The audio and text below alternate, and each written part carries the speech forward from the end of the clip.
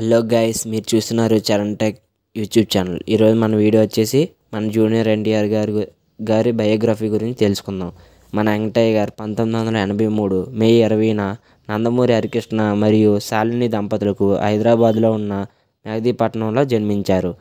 ఎన్టీఆర్ గారు స్కూలింగ్ హైదరాబాద్లోని విద్యారణ్య హై స్కూల్లో పూర్తయింది. ఆ తర్వాత సెయింట్ మేరీస్ కాలేజీలో ఇంటర్మీడియట్ కంప్లీట్ చేసుకున్నారు. మన ఎన్టీఆర్కి పెద్దగా చదివెక్కేది కాదు. అందుకని హాస్టల్లో జాయిన్ చేసిన గో గోడలు దూకి ఇంటికి వెళ్ళిపోయేవాడు. అందుకని ఎన్టీఆర్ వాళ్ళ అమ్మగారు వేరే ఏదైనా నేర్పించాలని డ్యాన్సింగ్ స్కూల్లో జాయిన్ చేశారు. అప్పుడు మన ఎన్టీఆర్ కూచిపూడి నేర్చుకున్నారు. పంతొమ్మిది వందల తొంభై ఒకటి తొంభై రెండు ప్రాంతంలో ఎన్టీఆర్ గారిని వాళ్ళ అమ్మగారిని సీనియర్ ఎన్టీఆర్ గారు జూనియర్ ఎన్టీఆర్ ఫ్యామిలీని ఒప్పుకొని ఇంటికి రమ్మన్నారు. తర్వాత బ్రహ్మర్షి సుమిత్ర షూటింగ్ టైంలో జూనియర్ ఎన్టీఆర్ని పిలిపించి ఆ సినిమాలో మన జూనియర్ ఎన్టీఆర్ని సీనియర్ ఎన్టీఆర్ మొత్తం నేర్పించి తన నటగురువయ్యారు. బ్రహ్మర్షి యశోమిత్ర పంతొమ్మిది వందల తొంభై ఒకటి ఏప్రిల్లో వచ్చింది. ఆ విధంగా మన జూనియర్ ఎన్టీఆర్ గారు తొమ్మిదేళ్ళ వయసులోనే సినిమాల్లోకి వచ్చాడు.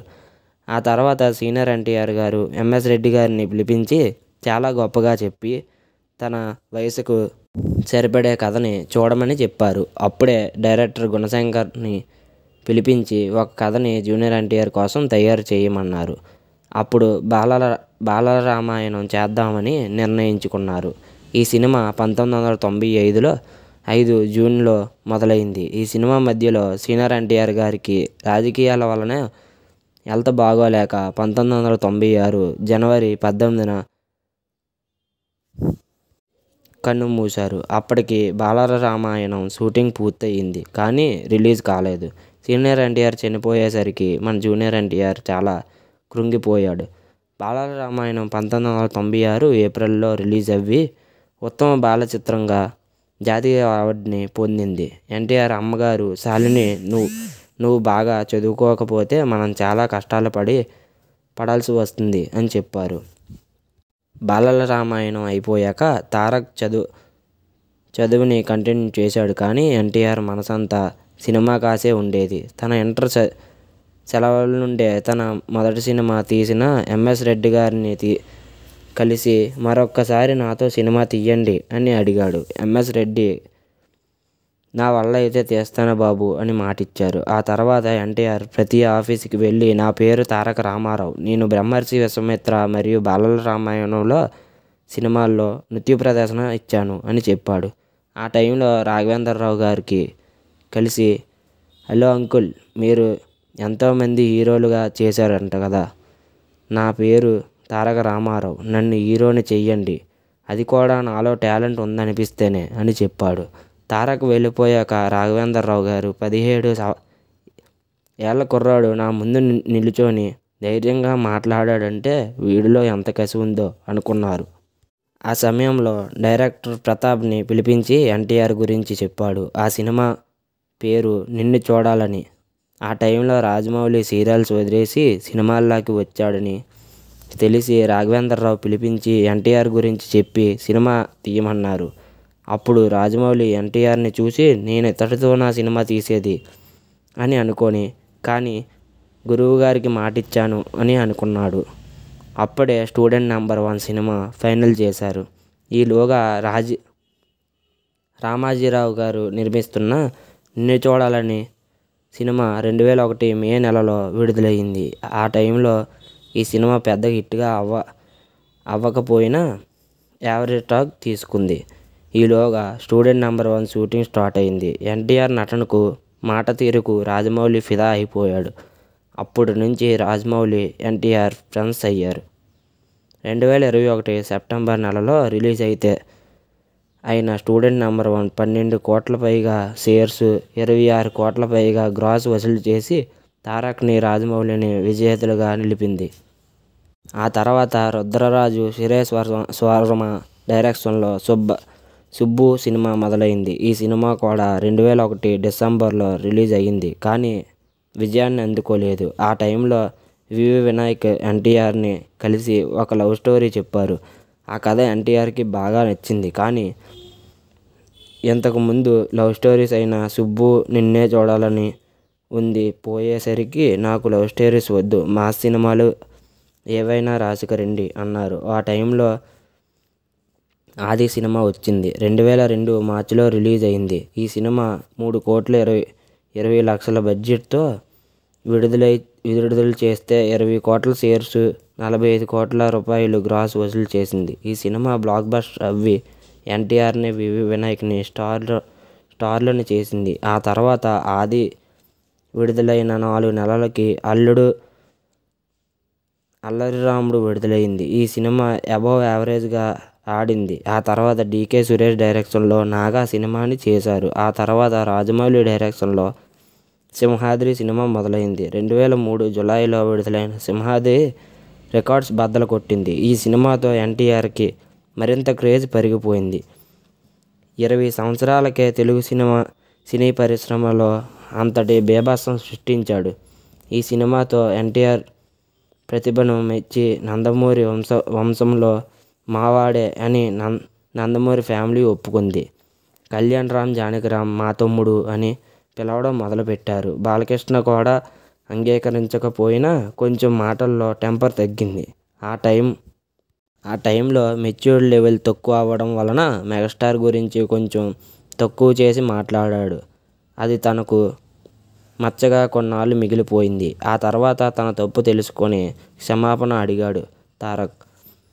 సింహ సింహాద్రి తర్వాత పూరి డైరెక్షన్లో ఆంధ్ర వాళ్ళ మొదలైంది. ఆ ఆడియో లాంచ్ని నిమ్మపూర్లో ప్లాన్ చేశారు. కానీ ఆ గ్రౌండ్లో ఆ గ్రౌండ్ కెపాసిటీ ఐదు లక్షలు మాత్రమే. కానీ ఇరవై లక్షల జనాభా నిండిపోయింది. భారతీయ చరి చలనచిత్ర పరిశ్రమలో ఇంత జనాభా ఇదే మొదటిసారి. చిర చివరిసారి కూడా ఆ క్రేజ్ని చూసి చంద్రబాబు చాలా ఆశ్చర్యపోయాడు. తెలుగు సినీ పరిశ్రమలో ఎవ్వడి వల్ల కాదనుకున్నారు తెలుగు పెద్దలు. చంద్రబాబు ఎలా అలా అని ఊరుకోలేదు. వీడిని ఎలా అయినా వాడుకోవాలని అనుకున్నాడు. అయితే రెండు వేల నాలుగు సంక్రాంతికి వచ్చిన ఆంధ్ర వాళ్ళ ప్ర పరాజయం పాలయ్యింది ఆ టైంలో ఎన్టీఆర్ పేరు వింటే ఊగిపోయేవారు. ఆ తర్వాత వచ్చిన నాల్లుడు నరసింహు నరసింహుడు అశోక్ ఫ్లాప్స్గా వచ్చాయి. ఆ తర్వాత వివి వినాయక్. డైరెక్షన్లో వచ్చిన సాంబా సినిమా బాగానే ఉన్నా అది ఎన్టీఆర్ క్రేజ్కి సరిపోలేదు. రెండు వేల ఆరులో రాఖీ ఘన విజయం సాధించకపోయినా నటుడిగా మరో మరో మెట్టు ఎక్కింది. అయితే రాఖీ సినిమాతో సినిమాలో ఎన్టీఆర్ లావుగా ఉండడంతో విమర్శలు మొదలయ్యాయి. రాజమౌళి ఎన్టీఆర్ని పిలిపించి వార్నింగ్ కూడా ఇచ్చాడు. నెక్స్ట్ నీతో సినిమా చేద్దాం అనుకుంటున్నా. కానీ మనం సినిమా తీయాలంటే నువ్వు ముందు లావు తగ్గాలి. తగ్గితేనే నీతో సినిమా తీస్తాను అన్నాడు. తన హెల్త్ కోసమే రాజమౌళి చెప్పాడని లైపోసిస్ ఆపరేషన్ చేసుకొని మరికొన్ని ఎక్సర్సైజులు చేసి ఎవరూ ఊహించని విధంగా సన్నబడ్డాడు. ఏదైనా అనుకుంటే వదిలిపెట్టని ఎన్టీఆర్ని చూసి రాజమౌళి షాక్ అయ్యాడు. ఎన్టీఆర్ ఎన్టీఆర్ని ఎవరైనా ఏళన చేస్తే ముందు రాజమౌళి బాధపడి బాధపడేవాడు. రెండు వేల ఆరులో రాజమౌళి ఫిల్మ్ సిటీలో యమదొంగ షూటింగ్ పూర్తి పూర్తి చేశారు. యమదొంగ షూటింగ్లో ఎన్టీఆర్ చెప్పిన డైలాగ్స్కి సెట్లో ఉన్న వా వాళ్ళంతా విజిల్స్ వేసేవారు. ఆశ్చర్యపోయి విజిల్స్ వేశారు. యమదొంగ రెండు వేల ఏడు ఆగస్టులో విడుదలయ్యి సూపర్ డూపర్ హిట్ అయ్యింది. అందులో ఎన్టీఆర్ పోషించిన యముడు పాత్ర చూసి అందరూ తన తాత తాతగారి లానే చేశాడని చెప్పారు. కొడుకు విజయాన్ని చూసి హరికృష్ణ శాలిని ఆనందానికి అవధులే లేవు. ఇకపోతే ఆ తర్వాత వచ్చిన కంత్రి సినిమాలో మరీ సన్నగా కనబడ్డాడు. ఆ టైంలోనే చంద్రబాబు ఎన్టీఆర్ని సపోర్ట్ చేయమని అడిగాడు. దీనితో కుటుంబ సభ్యులు తనని దగ్గరకు తీసుకుంటారని ప్రచారం చేయడానికి ఒప్పుకున్నాడు. ప్రచారంలో ఎన్టీఆర్ని చూడడానికి వేలాది మంది వచ్చారు. రెండు వేల తొమ్మిది మార్చ్ ఇరవై ఆరున ప్రచారం ముగి ముగించుకొని కారులో వస్తుండగా నల్గొండ జిల్లా సూర్యాపేటలో ఘోర రోడ్డు ప్రమాదంలో తారక్కి చాలా గట్టి దెబ్బలు తగిలాయి. అప్పుడే డాక్టర్ ఇంకా డ్యాన్స్ వేయకూడదని చెప్పారు. ఆ సమయంలో జూనియర్ ఎన్టీఆర్ అమ్మగారు కృంగిపోయారు. ఆ తర్వాత ఎన్టీఆర్ కోలుకొని అదుర్ షూటింగ్లో పాల్గొన్నాడు. అలాగే డ్యాన్సులు కూడా చేశాడు. డ్యాన్స్లు ఎట్టి పరిస్థితుల్లో చేయవద్దని వివి వినాయక్ పట్టుపట్టాడు. ఒకవేళ చేస్తే అమ్మకు ఫోన్ చేసి చెబుతానని చెప్పాడు. షూటింగ్ కూడా జరగనివ్వనని భయపించాడు. అప్పుడే తారక్ వినాయ్ వినాయక్ని కూర్చోబెట్టి అన్న నా కోసం ఎంతో చేసిన ఫ్యాన్స్ కోసం ఈ మాత్రం చేయకపోతే అలా అన్నాడు. ఈలోగా అదుర్స్ రెండు వేల పది సంక్రాంతి రిలీజ్ చేశారు. ఈ సినిమాకు బాలకృష్ణ గెస్ట్గా వచ్చాడు. ఆ తర్వాత వచ్చిన బృందావనం మంచి కమర్షియల్ హిట్ అయ్యింది. ఆ తర్వాత రెండు వేల పదిలో వచ్చిన శక్తి సినిమా పరజయాల పాలైంది. అప్పుడే చంద్రబాబు ఎన్టీఆర్ని ఎన్టీఆర్కి మంచి సంబంధం చూశాడు. అప్పుడే అప్పుడు అప్పుడప్పుడు అప్పుడు ఇప్పుడు జరగని సినిమా పరిశ్రమలో జరగని రీతిలో వివాహం జరిగింది. ఆ తర్వాత వచ్చిన ఓసరవెల్లి దొమ్ము బాద్షా రామయ్య వస్తవయ్య రభస వంటి వేరు వరుస ఫ్లాప్స్తో ఎన్టీఆర్ క్రేజ్ చాలా తక్కువ తగ్గిపోయింది. ఒకనొక దిశలో టాప్ ఫోర్ లిస్ట్లో ఎన్టీఆర్ని తీసేశారు. ఆ సమయంలో పూరి జగన్నాథ్ డైరెక్షన్లో టెంపర్ వచ్చింది. ఆ సమయంలో అంటే రెండు వేల పద్నాలుగులో జానకిరామ్ రోడ్ ప్రమాదంలో మరణించాడు. రెండు వేల పదిహేను ఫిబ్రవరి విడుదలయ్యింది.